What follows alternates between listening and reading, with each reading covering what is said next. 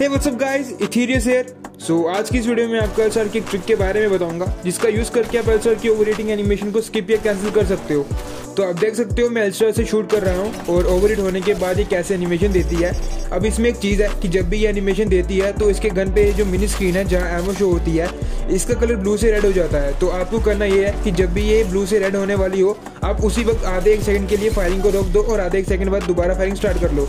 तो ऐसा करने से आप ओवर के एनिमेशन को स्किप कर सकते हो। नॉर्मली ऐसा कि ओवर को कूल डाउन होने में दो से ढाई सेकंड का टाइम लगता है तो उसके कंपैरिजन में ये ट्रिक काफ़ी काम की है।